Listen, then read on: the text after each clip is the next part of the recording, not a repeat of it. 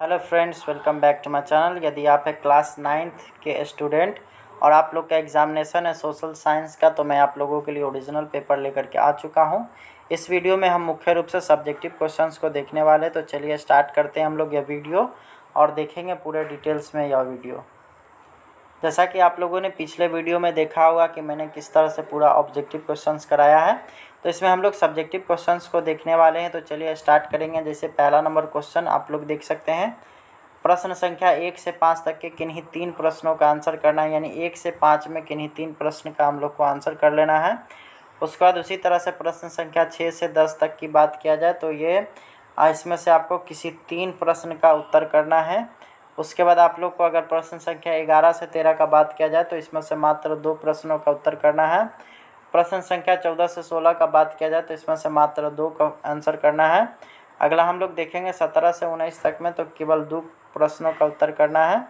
और दीर्घ उत्तरीय प्रश्न की बात किया जाए तो इसमें सारे प्रश्नों का उत्तर आप लोग को करना है। इसमें एक चीज़ और है कि अथवा कर करके आप लोग को प्रश्न का उत्तर इसमें देना है तो दोनों में से आप अथवा या फिर नंबर वाला जो क्वेश्चन है, वही आप लोग को करना है।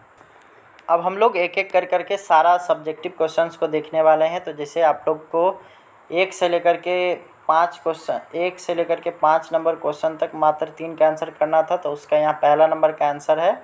आप लोग इसको आसानी से यहाँ से देखिए नोट कर लीजिए, क्योंकि इसको अगर हम लोग पढ़ने लगेंगे तो बहुत लंबा टाइम लग जाएगा। और आप लोग का भी समय ज़ाया हो जाएगा क्योंकि अगला क्वेश्चन भी आप लोग का तैयार करना है। उसके बाद क्वेश्चन नंबर दो का आप लोग देखिएगा तो इस तरह से स्क्रॉल डाउन कर रहे हैं या फिर हम इस, आप इस वीडियो को पॉज कर लेंगे और उसके बाद फिर आप लोग उसको देखेंगे। उसके बाद चौथा नंबर क्वेश्चन आप लोग देख सकते हैं यहाँ पे नाजीवाद से आप क्या समझते हैं तो आप लोग यहाँ पे देख सकते हैं पूरा। पूरा का पूरा आप लोग को इस तरह का आंसर मिल जाएगा। उसके बाद छठा नंबर क्वेश्चन है। यहाँ पे आप लोग देख सकते हैं, छठा नंबर का आंसर ये हो गया।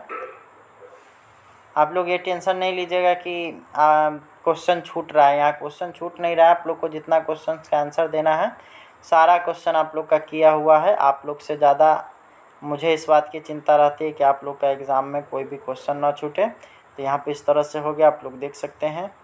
पूरे अच्छे ढंग से आप लोग इसको देखिए। आप लोग को सही प्रकार से इसी तरह से देखना है। आप लोग यहाँ पे देख सकते हैं और इसको आप लोग जहाँ पर भी मन करें वहाँ से रोक करके आप लोग आसानी से इसको लिख सकते हैं। वीडियो क्वालिटी अगर आपका अच्छा नहीं आ रहा है तो आप इसको वीडियो क्वालिटी तीन सौ साठ पी या चार सौ बीस पी पे कर करके आप लोग इसको अच्छे ढंग से लिख सकते हैं। और आगे की तरफ़ हम बढ़ते रहेंगे। आप लोग को रोक करके इसको लिखना है।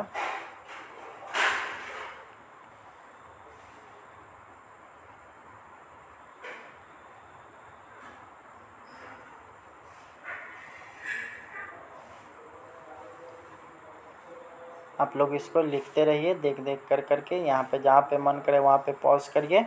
उसके बाद लिखिए नहीं तो आप लोग ऐसा भी कर सकते हैं, इस वीडियो को डाउनलोड कर लीजिए यूट्यूब में डाउनलोड हो जाएगा, उसके बाद आप लोग आसानी से बाद में इसको रोक रोक कर करके देख सकते हैं और आराम से अपना लिख सकते हैं। इस तरह से आप लोग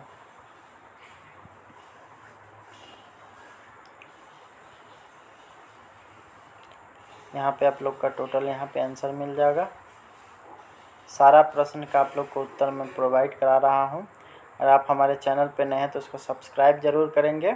और आप हमारे नए चैनल को भी जाकर के सब्सक्राइब करेंगे क्योंकि वहाँ पे सब्सक्राइबर नहीं जा रहे हैं और ना ही वहाँ पे व्यूज़ आ रहा है सही ढंग से।